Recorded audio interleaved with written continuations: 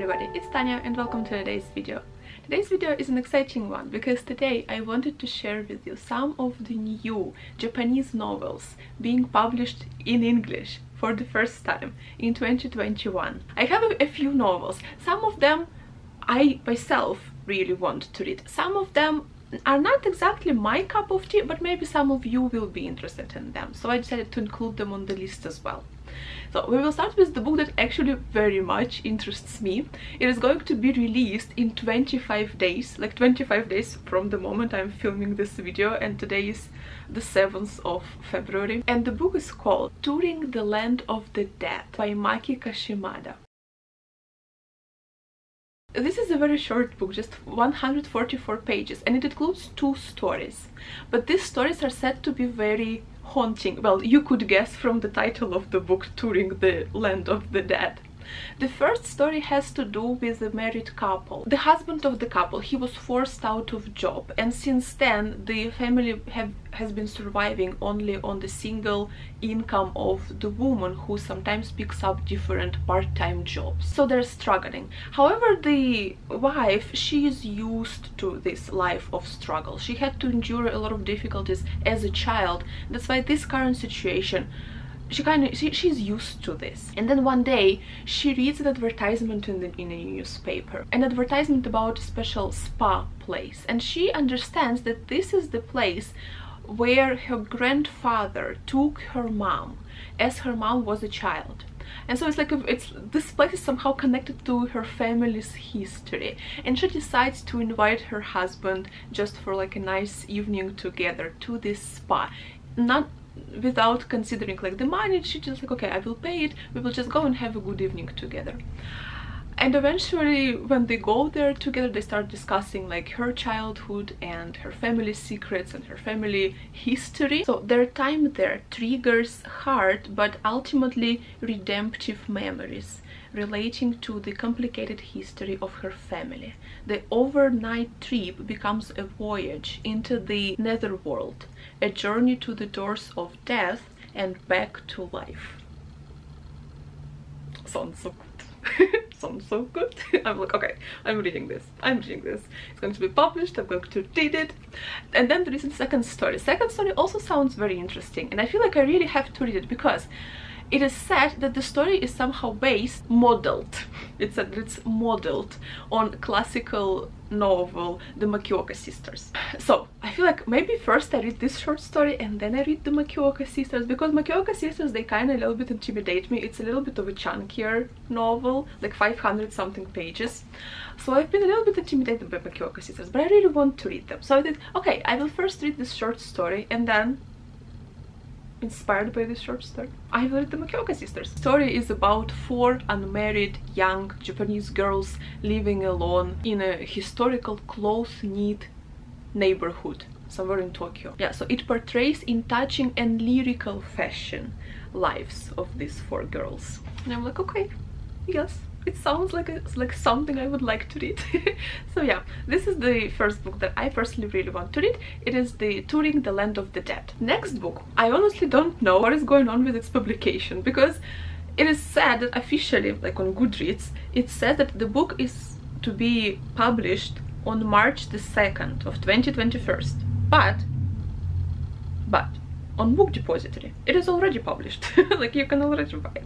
So I don't know what's the deal with that but officially this book is supposed to be published somewhere in March 2021 and it is the an I novel by Minae Mizumura. Minae Mizumura was brought up in America. She spent 20 years of her life in America. However, eventually she realizes that like this American culture, English language is not something she likes is not something that she's like ready to i don't know accept. She apparently understood that this is not for her and she wants to go back to her roots. She wants to go back to japan and become a writer in japanese language in japan. And so this is an I novel, since it's an I novel, like this Japanese genre of an I novel, it is semi autobiographical as well so it's based on on the author's own life but it's still semi-autobiographical. And so in this book the main protagonist receives a call from her older sister and her older sister reminded her that it has this is like this day is an anniversary for their family 20 years since they moved to new york.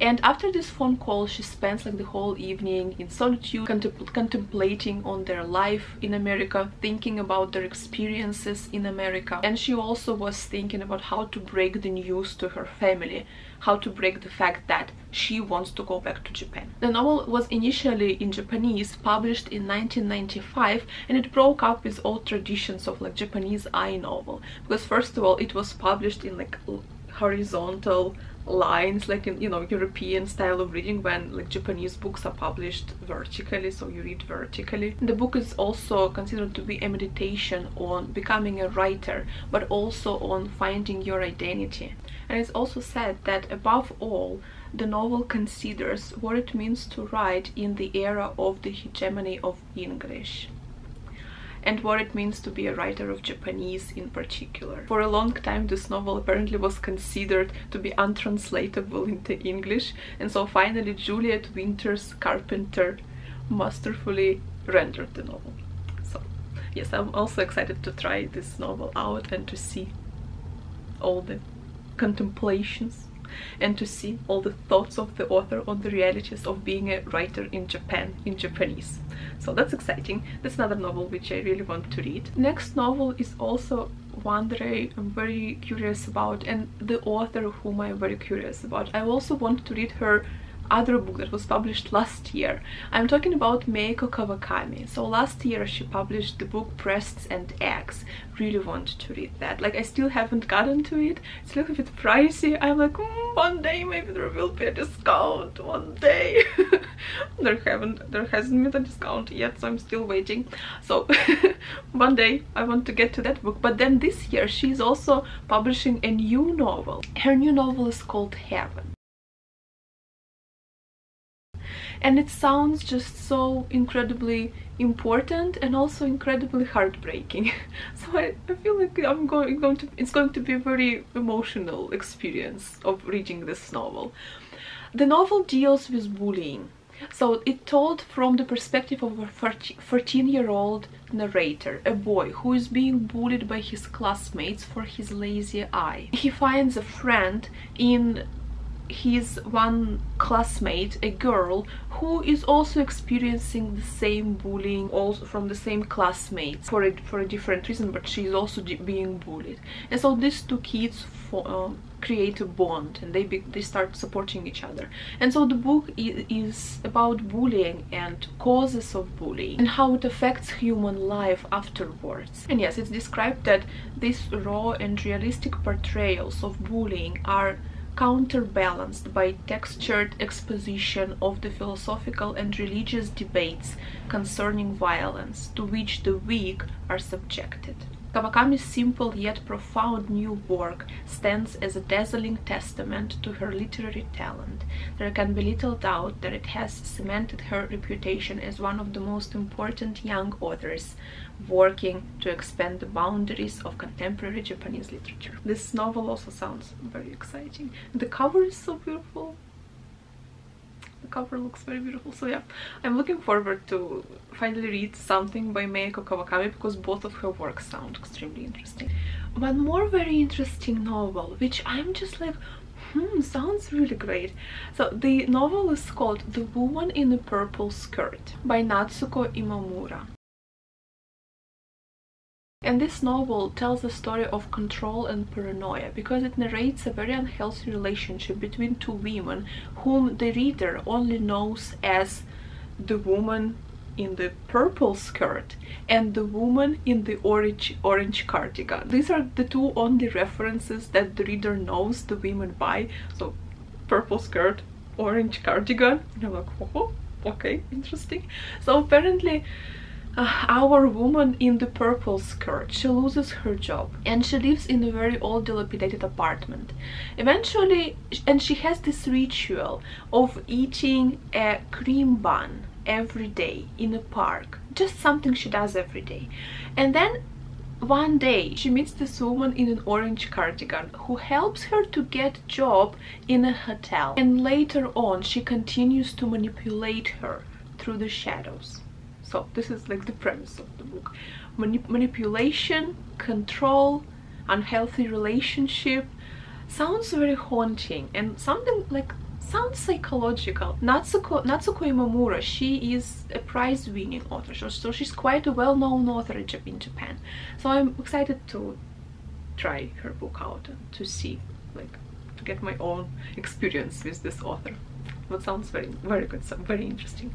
Also in this video we will not be talking about Kazuo Ishiguro's book because obviously it's coming, it's being published in 2021 but first of all I have already talked about this book in my um, 2020 anticipated releases. And second of all I don't know I might be like wrong or I don't know prejudiced but I personally I cannot consider Kazuo Ishiguro a Japanese writer. Like he grew up in Great Britain. He writes books in English, not in Japanese. So I don't know if I like mm, I don't know if I'm like, consider him Japanese writer. I've always thought about him as a British writer. He writes book like not about Japan. Like for example, his um, Never Let Me Go. It's not about like Japan. It's more about something European. So I don't know. I, I Kazuo Ishiguro, well obviously he, he comes from like Japanese background. I don't know, I can I it's just me, but I just personally because he also writes in English, he's not writing in Japanese, so I consider him a British writer. It's not like not, not, it's, I don't think that it's, it's really important. He obviously obviously is a phenomenal great writer. I'm just want i just wanted to explain myself like why i'm not including him on the in this video. First of all i already talked about his book and i really want to read that. And second of all i kind of more consider him to be a british author to be honest. Just in my head. But again it's not really important. He really is a great writer so yeah. It's not like anything. So yeah kazuo ishiguro talked about him in a different video one more book that is being published is by is by Haruki Murakami, so first person singular. Also, I will not be talking about this book because again, I talked about this book already in 2020 2021 releases that I'm looking forward to, so you can check that book out in that video if you're interested. But yes, Haruki Murakami is also coming out with a new book. One more book is Lonely Castle in the Mirror by Mizuki Tsujimura this book sounds weird. Like it sounds like the description sounds something like strange.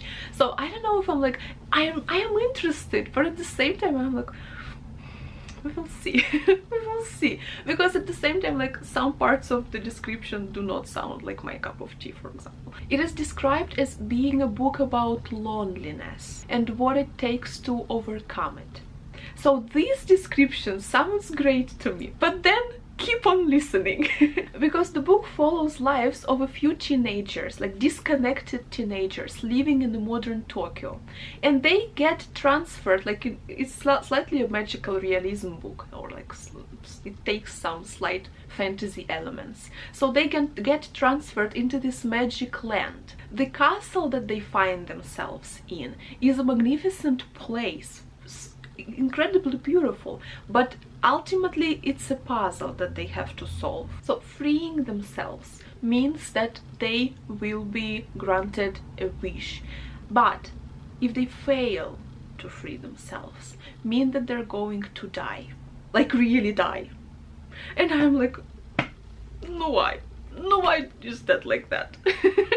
Why do they have to die? And later on like it says that it's actually a heartwarming story. And i'm like children are about to die. How can it be a heartwarming story? Like excuse me. So yeah this is something like that sounds a little bit strange to me. And i don't want any children to die. So i i don't know if like everything except for the part of the children being threatened by death I find very interesting. So I think I will give this book a read. But just the fact that like the stakes are so high. I don't know. And also like fantasy isn't really my genre. I don't get along with fantasy. but it's not really fantasy it just has like a small fantasy element of them being transported into this magic land and this magic castle so we will see but this book i'm i'm conf not confused i'm in two minds about this book. We will see if i'm going to read it or not. I really want to read this one.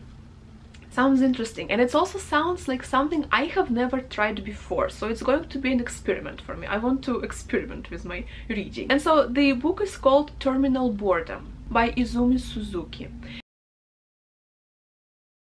Izumi Suzuki is, again, quite a well-known Japanese writer. She is a science fiction writer. And this book is a collection of her short stories, which are described as being punk and venomous and they are going to appeal to the fans of Margaret Atwood and fans of Black Mirror. It's going to be an experiment, we will see. I just see, like, I just read that this author is well known and quite beloved in Japan and I'm like, okay, I will give it a try. We will see if I'm, I'm going to like it, if it's going to be for me. And then one book, which I honestly, like, it kind of sounds something interesting and something strange, but at the same time also it does sound like not a book for me so we will see if I will end up reading it because it's called Bullet Train by Kotaro Isaka and it became a bestseller in Japan. It is a train full of killers and a suitcase of money. so among this among the characters of the book we have so-called the unluckiest assassin in the world. there is also a psychopath and there is a father who is determined uh, to revenge his child to somebody for something. It's not said yet. So there will be like I guess a cast of bizarre characters, like weird characters, but it does sound interesting. Like the unluckiest assassin in the world. like sounds great. but again, it sounds more like a thriller maybe. Some not a detective but maybe something like a thriller and it's not like a, my cup of tea again.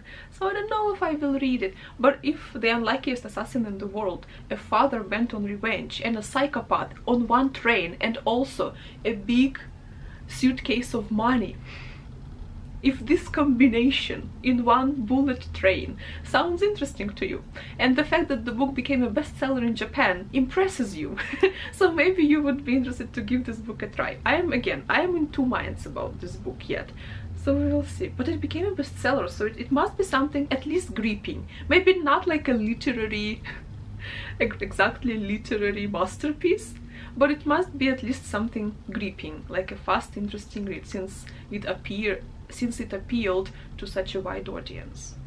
So maybe for some like just enjoyable, fast, quick, fun, bizarre read, maybe this book will would do. So we will see. Yeah, I'm thinking about this book. So there you have it guys, just a few of Japanese novels being published in English for the first time in 2021. Let me know in the comments which one of these sounded the most interesting to you. As for me, like quite a few of them I really want to read, like I said I really want to meet Mieko Kawakami, I really want to read the first book like Threading Through the World of the Dead I want to read the Heaven and the Woman in the Purple Skirt. Like all of these books sound very interesting. So let me know which one is on your top list of priorities. And thank you very much for watching. I hope you enjoyed this video. Hope it was interesting. I hope you're also having a very good day and enjoying your current treat. Thank you so much for watching. Have a good day and i will see you soon in the next videos. Thank you very much. Bye